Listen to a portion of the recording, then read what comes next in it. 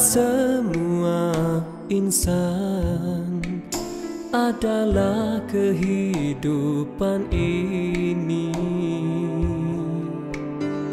Yang baik menjadi tuntutan Yang buruk dijauhkan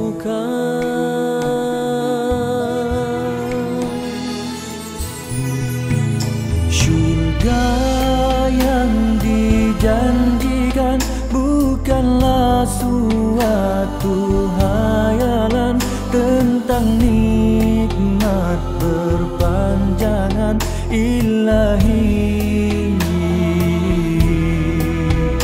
Neraka yang tercipta menghimpun azab derita tangisan kesengsaraan insan